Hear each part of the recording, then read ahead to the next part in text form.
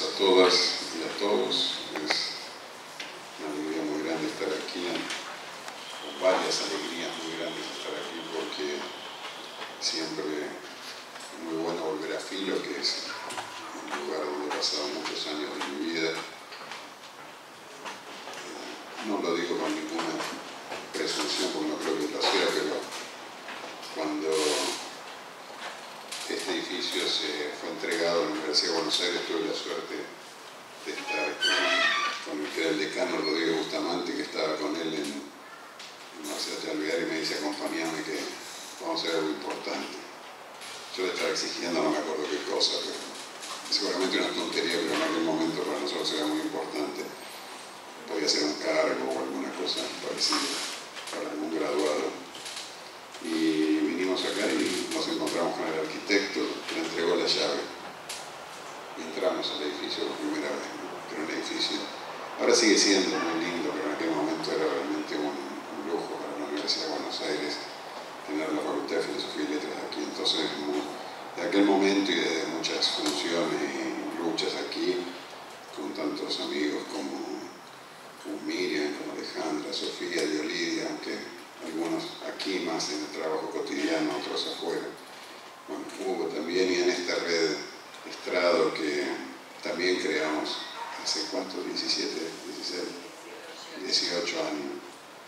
algunos, algunas de ustedes no habían todavía empezado a pensar siquiera en, estudiar educación. Y entonces fue, se creó también una tarde así de caipiriñas y utopías en la playa de Copacabana. Creemos muchas cosas que no funcionaron, pero esta por lo menos dura 18 años y mejor no tocarla para que siga funcionando mucho más. Pero bueno, y Estrado estudió en el trabajo docente, pero aparte también en la metáfora con el Estrado, que no sé a quién se le ocurrió, seguramente alguien que no está participando ahora de la red.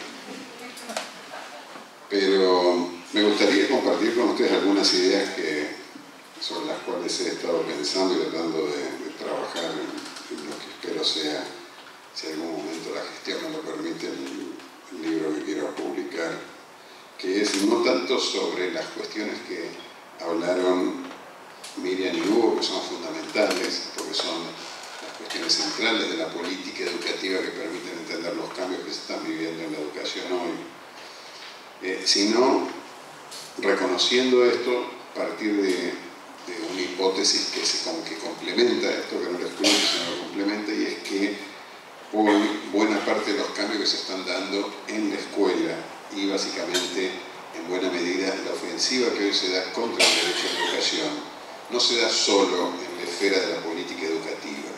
Y esto tenemos que entenderlo porque sin lugar a dudas estamos en un contexto de una ofensiva conservadora, neoliberal muy fuerte, muy muy, eh, muy poderosa, eh, pero no podemos confundir hoy esta ofensiva neoliberal con la matriz o con las dinámicas que históricamente caracterizaron la ofensiva neoliberal contra el derecho a la educación o contra la escuela pública. O sea, eh, en general nosotros tendemos a, tener una visión muy estática, muy poco dinámica, aquí Hugo y Miren nos traía muchos elementos nuevos de esta nueva política educativa, de esta nueva ofensiva contra la escuela pública, contra la política democrática de la educación o contra las reformas democráticas de la educación que llevaron a cabo los gobiernos progresistas o de izquierda durante los últimos años. Pero en general, cuando analizamos, tenemos, tendemos a, recuperar lo que fueron contribuciones, análisis de lo que es ya una ofensiva que lleva muchos años, inclusive eh, ya desde mediados de los años 70 en el campo educativo se pueden reconocer reformas de carácter claramente neoliberal eh, y análisis que fueron contradiciendo, atacando o contraponiéndose a estas reformas neoliberales. Sin embargo, creo yo, ahora estamos ante la presencia de, una ofensiva diferente, eh, que naturalmente se nutre de los ataques que históricamente los neoliberales tuvieron contra la escuela pública pero que tiene elementos nuevos y estos elementos nuevos es, importantísimo captarlos porque es importante reconocer que la derecha, a diferencia de la izquierda, de los sectores progresistas, suele cambiar y suele adaptarse mucho más rápidamente de lo que nosotros tendemos a reconocer.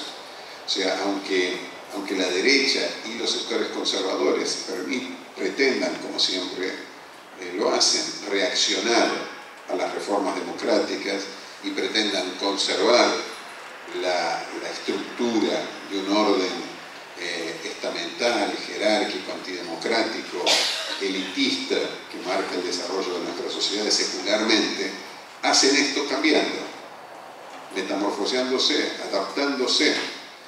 De hecho, yo hice un texto ahora que un poco irónicamente provocando esta idea de nosotros hoy estamos con derechas gramscianas e izquierdas keynesianas, o sea, una izquierda que defiende estado de bienestar, que defiende la intervención del Estado, que critica la idea del equilibrio natural del mercado, por un lado, o sea, esto es lo que, muy resumida y sintéticamente y banalmente, podría ser identificado como la base de las políticas keynesianas, que, que afirma sobre la necesidad de que los derechos no se garantizan por la propia lógica de la competencia en el mercado. Y por otro lado tenemos una, una derecha que ha aparentemente leído a Gramsci mucho mejor que nosotros y reconoce que las instituciones y la, hegemonía se, se, pelean en cada espacio de la vida social. Uno de esos espacios, por ejemplo, es la calle. Y de hecho, si observamos, la, la derecha latinoamericana y mundial se ha vuelto a lo largo de estos últimos años una derecha mucho más eh, callejera. No se veían manifestaciones de derecha, no había. En la historia, Argentina, como es un país con una gran profusión de manifestaciones, la gente en general sale a la calle, había algunos síntomas de esto desde el retorno a la democracia, los famosos cacerolazos, estas cosas que allá en Santa Fe, pero no eran manifestaciones de masas. Durante los últimos años vemos una obsesión por la derecha por ganar la calle. Y en algunos países una situación de, de extrema crisis que se, vive, al observar que la izquierda, que tradicionalmente fue quien ocupó la calle, la pierde, y la derecha ocupa el espacio de la calle. En Brasil, como decía Hugo y Miriam, vivimos una situación muy dramática, porque el PT, eh, particularmente el, gobierno de la presidenta Dilma Rousseff, es destituido mediante una maniobra jurídica que permite realizar una, nueva forma de golpe a la que se refería Miriam, eh, pero lo hace mediante, apelando a un proceso de movilización social muy fuerte que llenó las calles de, las principales ciudades brasileñas. Eh, no fueron llenadas las calles de las ciudades brasileñas por la resistencia al golpe. Y la calle era el lugar de la izquierda en Brasil, del movimiento operario, de la Central Única de Trabajadores, de los estudiantes. Todas las reformas democráticas en Brasil se arrancaron mediante movilizaciones populares. Con esto no quiere decir que si hubiera habido más capacidad de movilización el golpe se hubiera evitado, no creo que fuera esto. Pero sí, no cabe ninguna duda de que la derecha aprendió una cuestión que Gramsci enseña y que, creo que nosotros muchas veces olvidamos, y es que en la política no hay espacios vacíos, y cuando hay un espacio que está vacío hay que ocuparlo. Este horror al vacío que tiene la política. Cuando uno no dice algo, otro lo dice por uno. Cuando uno no lo puede defender bien, otro lo defiende mejor. Eh, y esto es lo que de alguna forma también Hugo refería con la idea del secuestro. ¿no? Nosotros trabajamos también con la idea del secuestro de la democracia, del secuestro de, la, idea de lo público. ¿no? Y, esto es, eh, creo yo, lo que también permite entender cómo durante todos estos años la, la derecha y los sectores conservadores no se ocuparon de cuestionar muy enfáticamente algunas de las conquistas de los gobiernos progresistas de esta última década. Claro que siempre hay algún salame que dice algo fuera del guion. Eh, y creo que en este sentido Bullrich se gana todos los premios. Pero no dejan de ser tonterías. No quiero decir con esto que no sean importantes las declaraciones de Bullrich, sino que también muchas, Bullrich es eh, eh, la figura que al menos en este gobierno, que por cierto tan mal no le ha ido, de hecho llega a, la senaduría por la, provincia de Buenos Aires, un tipo de la alta oligarquía que es eh, una persona con limitadísimas capacidades discursivas, peleándose con quizás la persona que mejor puede hablar en la política argentina que es Cristina Kirchner, que tiene mejor capacidad de intervención. Eh, por lo tanto, hay algo que también, de nuevo, la derecha no, y las pocas cosas que habló dijo también tonterías. Eh, hacemos un kilómetro de asfalto por día, metemos un pibe preso todos los días, otras cosas. ¿no? Eh, pero bueno, estas giladas de cualquier forma mucho efecto no tuvieron porque eh, quizás algún voto le restaron, pero no lo suficiente como para que perdiera. O esto de la campaña del desierto de la educación, tantas otras cosas, estar en la casa de Ana Frank y decir que el nazismo se hubiera evitado si hubiera habido diálogo entre judíos y, nazistas, o todas estas cuestiones. Eh, eh, de cualquier forma, todo esto es la, parte, el epifenómeno de una, de una, cuestión que parece bastante sintomática y es que, eh, lo que lo que hoy, y este es un poco el argumento que, muy rápidamente presentarles a ustedes, lo que hoy más está amenazando la, base, el fundamento, eh, la concepción, la institucionalidad de la escuela pública y del derecho a la educación es una ofensiva que se está, que está llevando a cabo la derecha, eh, deteriorando, desestabilizando algunas de las certezas, de las ideas, de los valores, de los principios, de las formas de reconocimiento que durante tantos años de construir cuando eh, defendí, eh, construimos o tratamos de construir sistemas educativos medianamente democráticos y particularmente a lo largo de esta última década. Les menciono solo los temas que no voy a poder desarrollar. Pero primero, eh, en, términos de, de, lo que denominamos las variables intrínsecas, creo que Hugo y, y Miriam ya las dijeron muy claramente, yo le agregaría solamente una, nosotros tuvimos en América Latina un avance espectacular de los procesos de inclusión educativa a lo largo de estos últimos 10 o 15 años que no modificaron sustantivamente la estructura histórica del sistema escolar. En esto podríamos utilizar una metáfora más, o menos, aunque siempre las metáforas son malas en ciencias sociales, pero para que se entienda. Nosotros, generamos, digo nosotros, el progresismo generó a lo largo de estos últimos años en América Latina un gran proceso de inclusión social. Nadie lo niega, ni siquiera el Banco Mundial. Eh, y ni siquiera Mauricio Macri, que dice que él lo va a hacer todavía mucho mejor. Pero no hubo un cuestionamiento significativo en prácticamente ningún gobierno progresista de la matriz productiva tradicional, como señalan muchos intelectuales, muchos estudios. Por lo tanto, conseguimos hacer, y esto fue por una decisión política muy, clara, muy fuerte de nuestros gobiernos progresistas, una, una operación de modernización, de democratización de un sistema productivo que tiene una raíz, una estructura, una base secularmente discriminatoria y desigual. Por eso no conseguimos transformar significativamente la matriz de desigualdad, aunque generamos igualdad social, y también no conseguimos eh, eh, por falta de tiempo, por falta de voluntad política, en fin, si estuviera aquí eh, del caño diría porque no quisimos, y nunca quiso nadie que gobernó estos estados cambiar el estado, o porque no alcanzó y fueron apenas 12, 15 años, y es apenas una década contra dos siglos, pero por la razón que fuera, esta matriz productiva dependiente de América Latina no se cambió, aunque se modernizó socialmente. Eh, podríamos decir que con el sistema educativo pasó más o menos lo mismo. Y digo, la metáfora no es necesariamente buena, pero para que se entienda. El sistema educativo se volvió mucho más democrático, pero su, la, estructura sobre la cual se desarrolló históricamente eh, la institucionalidad educativa en nuestros países, que es una estructura que sirvió históricamente para discriminar y los gobiernos progresistas lo usaron muy bien para incluir, tampoco cambió significativamente.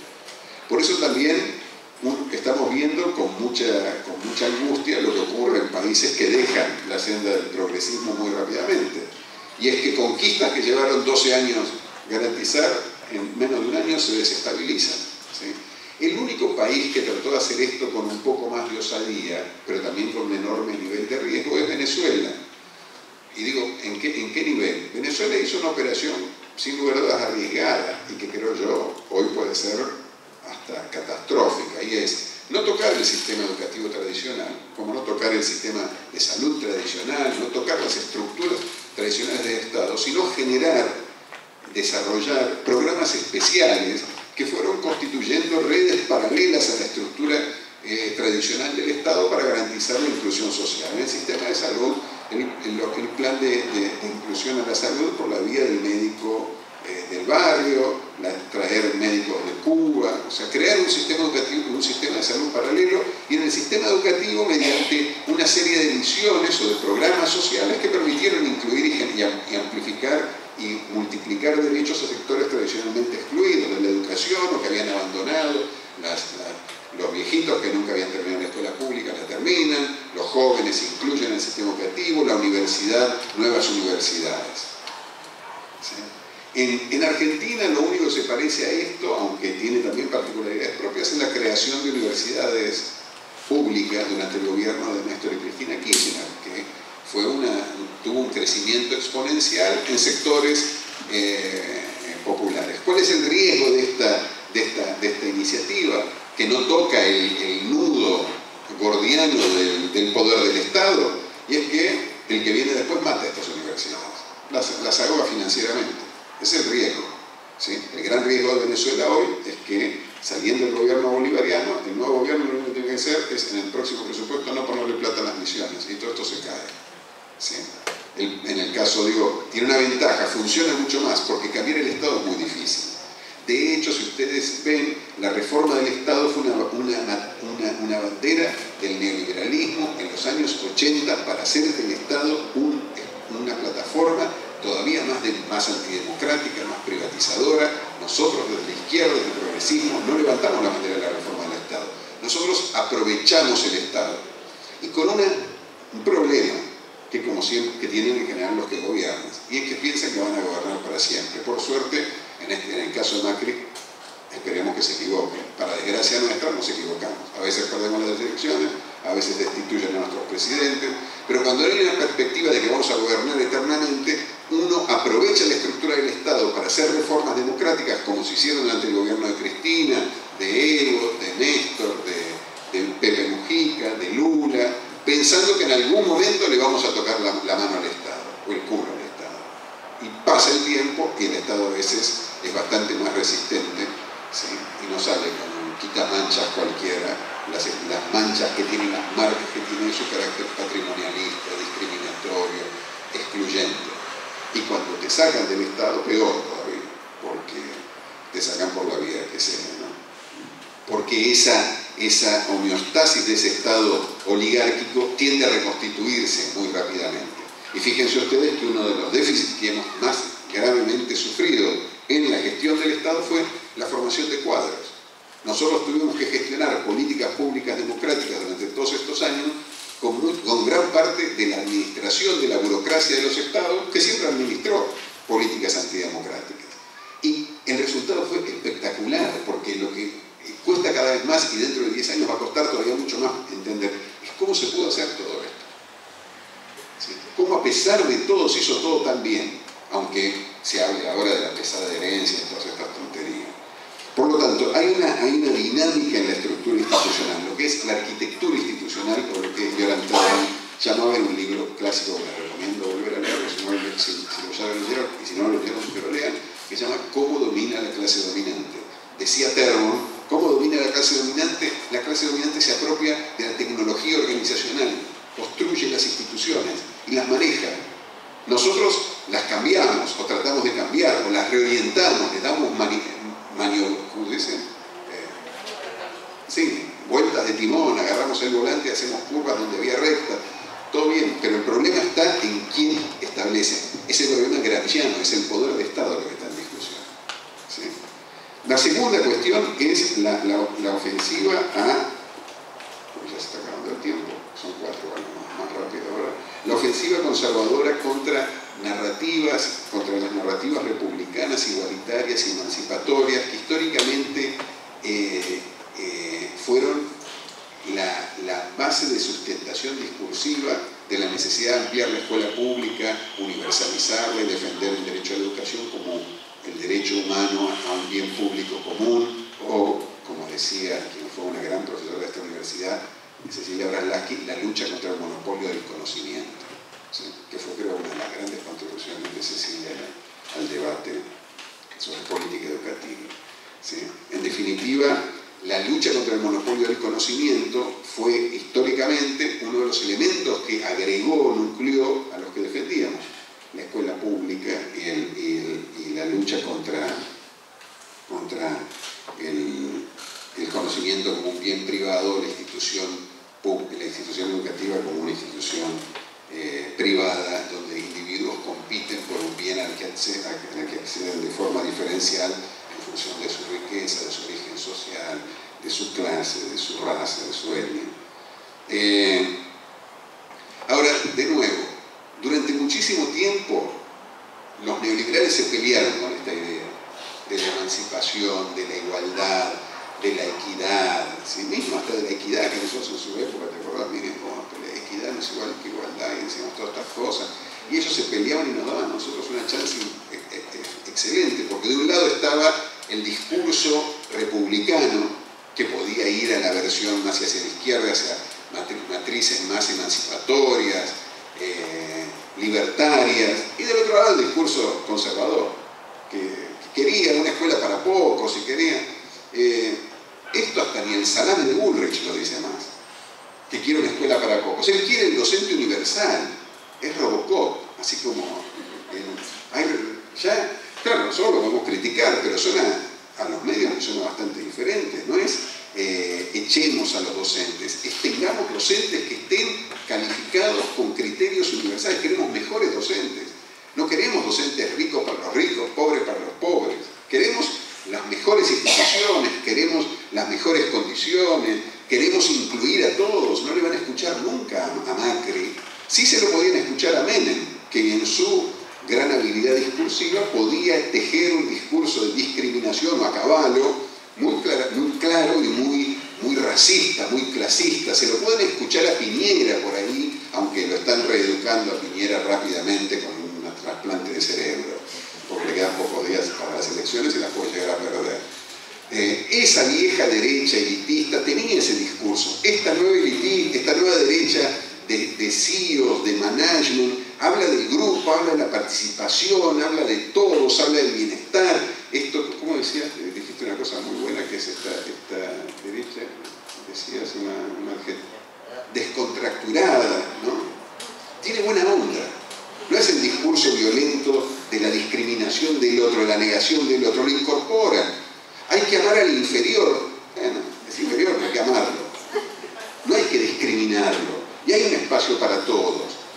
La idea esta pavota del diálogo entre judíos y nazis, eh, eh, por detrás esto tiene esta idea, hay solución para todos, hay espacio para todos, si pensamos como un gran equipo. Hasta para los que están afuera, no es un discurso para confrontar con la idea de la igualdad, es un discurso que aspira a refundar un discurso de igualdad que tiene como principal objetivo acabar con la igualdad, desde adentro no acabar con la igualdad desde, desde la confrontación. Y esto tiene que ver con otra lógica del capitalismo que muchos autores analizan desde hace mucho tiempo y nosotros tenemos que volver a, reconocer que son la, lógica de que en realidad en los momentos en los que se juegan grandes conflictos históricos en el capitalismo, el capitalismo tiene una enorme capacidad para encapsular conquistas que no puede destruir, encapsularlas y y dejarlas encapsuladas eh, y aceptarlas, pero encapsuladas. Por ejemplo, el fin del trabajo esclavo, que fue un elemento que el capitalismo naturalmente acepta, promueve, reconoce y acepta, pero al mismo tiempo el fin del trabajo esclavo tuvo como claramente contrapartida el establecimiento de los sujetos libertados del trabajo esclavo en sujetos asalariados por lo tanto, es una libertad encapsulada en una relación profundamente desigual, estructuralmente desigual entre el que vende su fuerza de trabajo y el que la compra. Por lo tanto, es una libertad muy parcial, es una libertad muy limitada. El aceptar la escuela pública es parte de esto que en algunos, en algunos textos textos que yo leía cuando era alumno y me daba Alejandra Virgen, que es un poquito más vieja que yo, y me daba textos para leer. Bueno, en aquel momento era muchísimo más vieja, no sé por qué dejó de ser tan vieja Alejandra Virgen. No, no, ahora no parece, en aquel momento era, una cosa así, eran generaciones que no se paraban. Ahora nos fuimos acercando, no sé si es que yo envejecí más rápido y ella rejuveneció más. Ahora le olvidé que Ah, no, eh, sí, ahora Pero Alejandro nos da un texto de Matt Pearson sobre los modelos de democracia liberal que digamos comprendió muy bien, que no siempre se acordaba de los cuatro modelos, yo me olvidaba uno, era, era más joven, tenía más Pero la democracia liberal es un libro espectacular eh, y algunos otros textos como la, el, ascenso de la justicia económica y otros textos de Max Pearson, donde decía, bueno, en determinado momento para los, para los conservadores la democracia es un el problema de la democracia y los derechos son un Tienen que, tienen que negociar y van a cambiar algo. Van a aceptar el derecho de las, mujeres de votar, pero me lo van a cambiar por algo. Siempre acaban aceptándolo. Eh, no pueden seguir los conservadores diciendo que las mujeres no pueden votar es más, ahora dicen que las mujeres hasta tienen que participar en política. Fíjense qué interesante el avance. Pero por otro lado, hay un cambio. En el caso de las mujeres, claramente, eh, la, brecha la brecha salarial de género, la, economía del cuidado, la intensificación de las responsabilidades del trabajo doméstico junto con la liberación para el acceso al mercado de trabajo. Las mujeres accederán al mercado de trabajo, pero no liberaron su tiempo de trabajo doméstico. Por lo tanto, en, Argentina una mujer trabaja 85% más que el hombre en las tareas domésticas y todas trabajan fuera de la casa.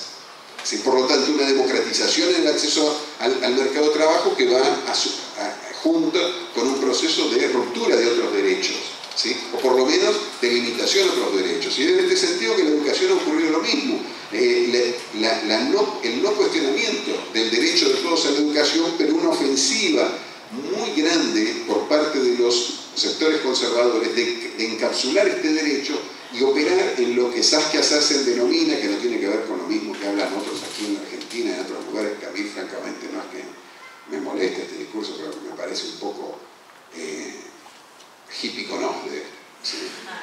que es el, tema del extractivismo. Descubrimos ahora, uh, uh, extraemos, no, querido, hace 500 años extraemos Nunca no hubo extractivismo. Por lo tanto, venir a sorprendernos ahora y decir que el gobierno de Néstor y Cristina Kirchner fueron extractivos, no, el gobierno de Cristina Kirchner y Néstor Kirchner heredaron una economía totalmente primarizada. ¿La cambiaron? No. Discutamos eso, pero no inventaron el extractivismo, ni, ni el gobierno de Evo Morales, ni nada. Siempre fue así. Cualquier historia económica de América Latina que lea, van a encontrar eso. Y si se entiende cómo funciona la economía mundial, no puede no ser así. Porque la economía mundial lo que quiebra, como dijo muy bien Hugo, es soberanía a los países. Y entonces esto es obvio que cualquier posibilidad de salir de la estructura primarizada que quiere combinar extracción de materias primas con trabajo barato. Si por eso quieren que nos parezcamos a China, o a Vietnam, mejor que China, porque en Vietnam el, costo de la, fuerza de trabajo es 2 dólares por hora. En China se fue al carajo, ahora es 4. pero ¿qué es bueno que tienen China y Vietnam? No tienen sindicato. La, ley del trabajo es muy flexible. Y otra serie de, cuestiones. Pero volviendo al tema de lo que, sin entrar en este, no es esta idea la que quiero transmitirle, sino la idea que Saskia Sassen denomina del capitalismo extractivista, la lógica extractivista del capitalismo, no es la de, la de, sacar petróleo de la tierra. La lógica del extractivista del capitalismo es un capitalismo que para reducir conquistas democráticas empieza a robar.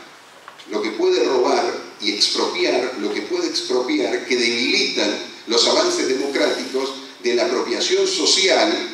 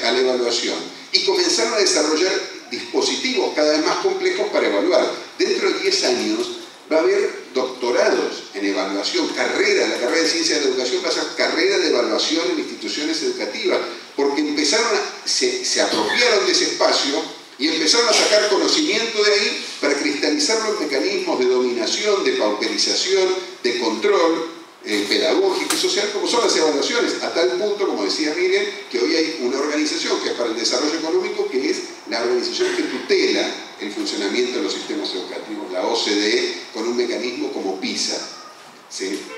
Eh, ¿Y cuál es la gran trampa? Es que es muy difícil. Con Hugo, muchas veces durante el gobierno anterior, nosotros tuvimos muchos embates para decir, compañeros, salgamos de PISA. Y no nos daban ni cinco pelotes en la realidad. Porque era muy difícil, y si salíamos iba a ser mucho peor. ¿Y cuál era el costo de salir? Nos pasamos 12 años discutiendo cómo íbamos a salir, no salimos y ahora estamos en la fase 3 de PISA. Ahora, PISA para desarrollo. Ahora bajamos un nivel.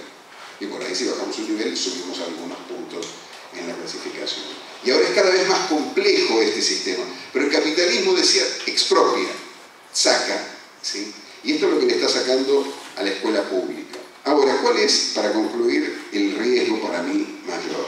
Y es que eh, la escuela pública, y esto es lo que trato de desarrollar en el trabajo que digo, estoy tratando de terminar, si alguna vez termino.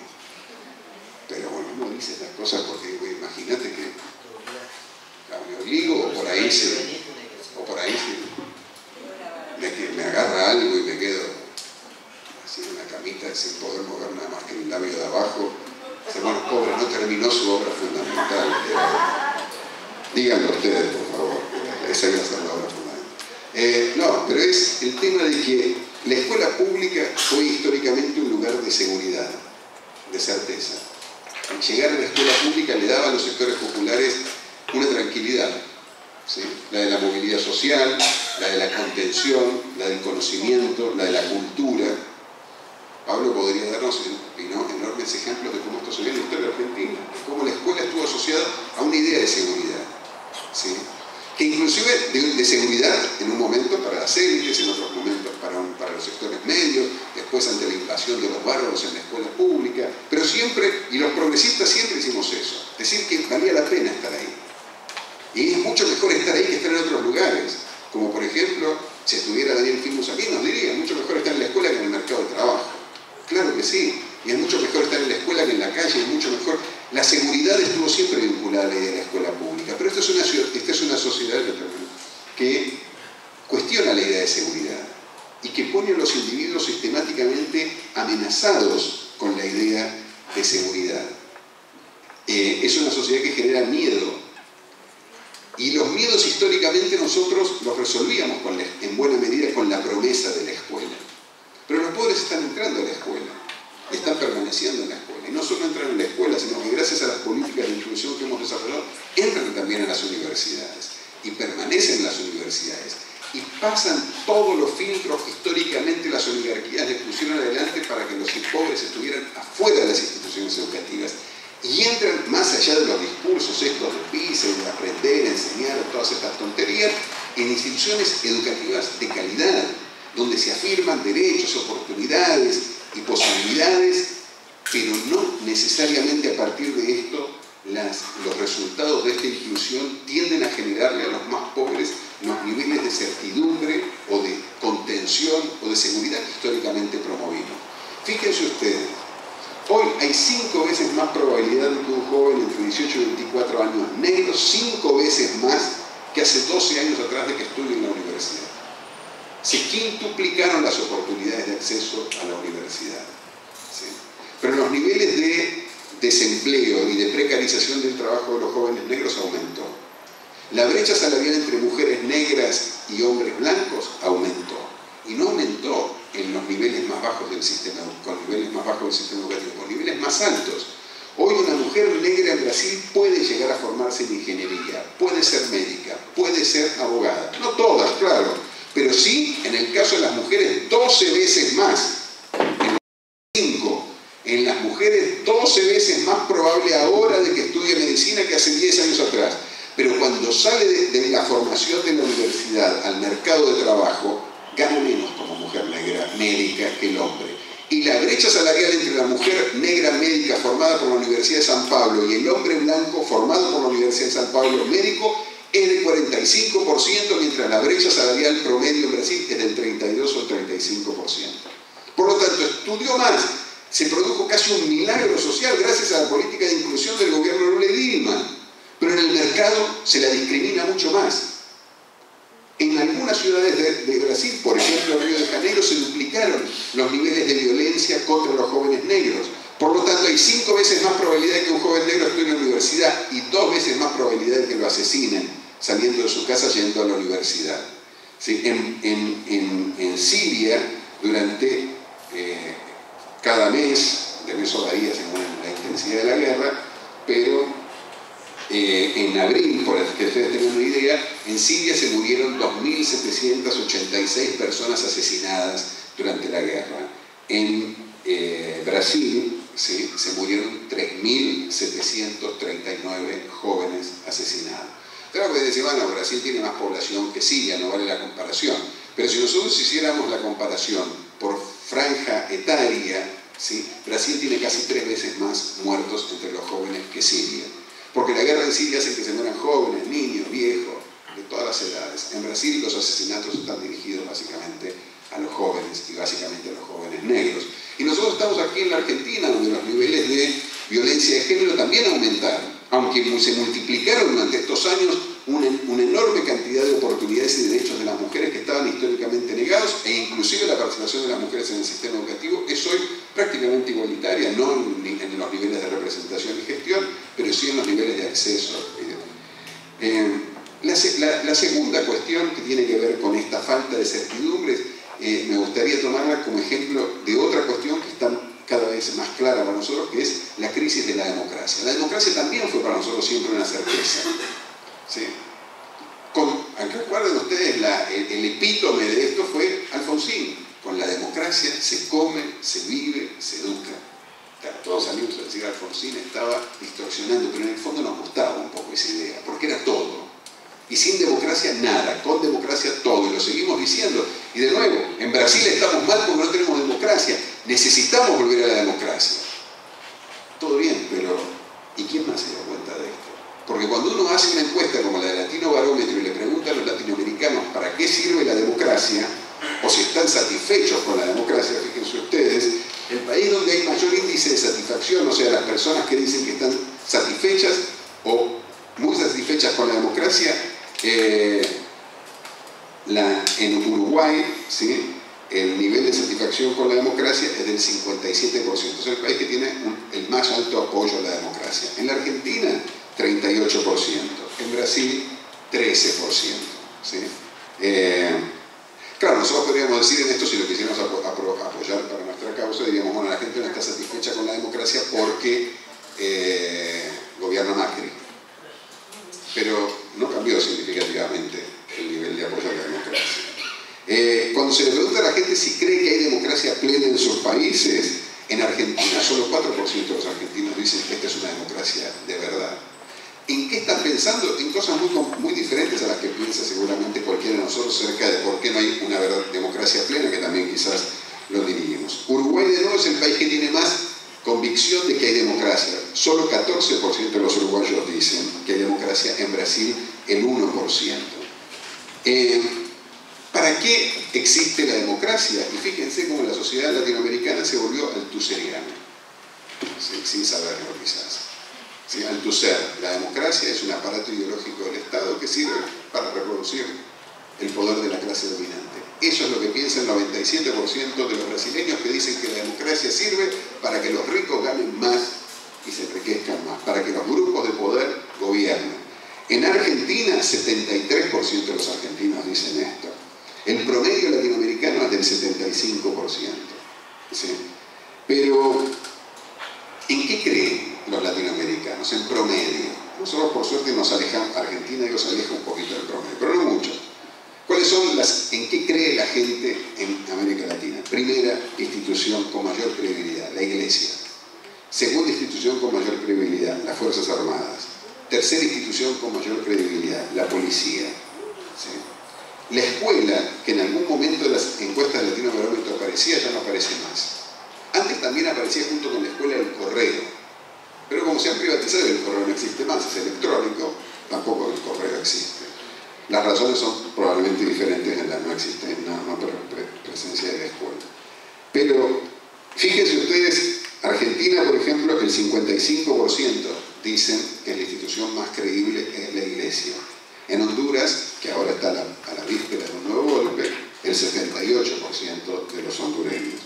Chile es el país, no Uruguay, en esto están furiosos los uruguayos, por lo menos los chilenos se quedan fuera de la copa, en esto tienen derecho a ganar una. En Uruguay el 41% de los uruguayos dicen que la institución más importante es la iglesia. En Chile, y ellos dicen que son los más laicos, pero en Chile le ganó porque solo 36% de los chilenos dicen que la iglesia es la más importante. En definitiva, ¿qué queremos decir con esto? Hay un enorme deterioro de la idea de para qué sirven las instituciones públicas, las instituciones que históricamente crearon derechos. ¿Y por qué existe esto? Y porque contra esto la derecha días está sistemáticamente lanzando discursos que la deterioran. Lo que decía Miriam, la despolitización de la escuela no es la despolitización solo de la escuela, es la despolitización de la vida social, es la despolitización de la democracia. Es contra esto que están todo el tiempo mirando. Cuando, cuando dice que hay que igualar, lo dice despolitizando y como decía Hugo, reacciona y se le cae la careta ante solo la mención de que hay una desaparición forzada, ni siquiera de que a, Santiago lo mataron, era de discutir los desaparecidos en la escuela. ¿sí? Pero esto es parte de una ofensiva que se ve y que claramente hoy tiene en, América Latina no solo reacciones como puntuales como la que se ha dado con Santiago Maldonado, sino lo que son ideas como estas de la desideologización de la escuela, la escuela sin partido de Brasil, o el combate a la ideología de género, que es este gran movimiento social que se está dando en América Latina contra los derechos de las mujeres y contra el derecho que tienen los alumnos de estudiar en la escuela, que es una familia y que una familia tiene que ser como mi papá y mi mamá dicen que es. Entonces, cuestionarle al docente la posibilidad de enseñar o de discutir la idea de familia en la escuela, porque consideran que esa es una determinación del fuero íntimo, personal, no es una discusión política. Nosotros, por suerte, también en esto no tenemos un gran movimiento de ideología de género, un gran movimiento, a pesar de que le encantaría seguramente a Macri y a Bullrich tener, o al ministro de Educación, un movimiento de escuelas sin partido, pero hemos tenido reacciones que nos llaman la atención, porque hemos sido históricamente un país muy laico, un país con una gran atención a los derechos humanos. Cuando surge el ataque Cetera, nos sorprendimos mucho cómo era posible que esto pudiera ocurrir en un país donde los derechos, donde algunos días antes había habido una marcha multitudinaria defendiendo los derechos humanos. Y a Cetera la defendimos muchos, pero no sé si la defendieron todos. Y como dice Hugo, muchos de los que nuestros compañeros votan al gobierno. Eh, y, la ideología de género es un movimiento importantísimo que se está dando hoy con financiamiento de quién? De muchas de estas organizaciones y de una en particular, las iglesias. No la iglesia católica que ahora está en un resurgimiento de Modé con Francisco en una nueva etapa eh, con onda. Las iglesias que dominan los sectores populares en América Latina no son la iglesia católica. A la iglesia católica le encantaría recuperar el terreno perdido. Las que los dominan son las iglesias pentecostales, que han entrado en América Latina para destruir la teología de la liberación y para apropiarse de esos espacios que la izquierda y los sectores populares o la política popular dejó libre, que es el espacio de los barrios. En cualquier villa miseria que ustedes entren, en cualquier favela, en cualquier lugar, van a encontrar una iglesia, una asamblea. ¿Qué es una iglesia? Un cartucho. Un lugar donde hay alguien que le dice lo que no le dice nadie. ¿Para qué está ahí? ¿Para qué sirve esto? ¿Para qué sirve la escuela? ¿Para qué sirve la asignación universal por hijo? ¿Para qué sirve lo que le enseñan en la escuela a los hijos?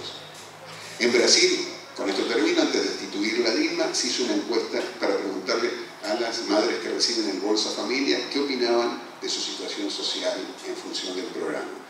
El 95% dijo que su situación había mejorado mucho o muchísimo en los últimos 10 años. La segunda pregunta era abierta y le preguntaron por qué. 70% respondió gracias a Dios. Después, gracias a mi familia. Y después, gracias a mi comunidad. Solamente en las preguntas cerradas, 5% dijo que cambió gracias a la política de gobierno. Cuando nosotros no entendemos a veces muy bien por qué gana Macri, no estamos entendiendo un cambio en la subjetividad, un cambio de mentalidad, un cambio de cultura que la derecha consiguió procesar, no atacando de forma directa a las instituciones que daban certeza, la democracia, la escuela pública, sino desestabilizándolas por los bordes, comiéndose por el borde los sentidos que le daban sentido a estas instituciones. Entenderlo hoy es fundamental porque si lo que queremos hacer, como dice esta mesa, es pensar el futuro, nosotros tenemos que pensar hoy un desafío de futuro mucho más complejo. Porque tenemos que resistir a las políticas neoliberales que se están, que están y que Miriam y Hugo describieron muy bien, que atacan nuestro sistema escolar. Pero también tenemos que reconstruir un sentido a la escuela, que no pasa solo por la resistencia a las políticas neoliberales. Tenemos que reconstruir una, una cultura ciudadana que defienda las bases desde las cuales es posible hacer una política pública de educación ciudadana, que defienda la democracia, que defienda la educación, que secularice la vida social, una vida social contaminada por la presencia de estas iglesias reaccionarias. En definitiva, tenemos nosotros que volvernos gramscianos y dejar a la derecha que si quiere sea keynesiana. Muchas gracias.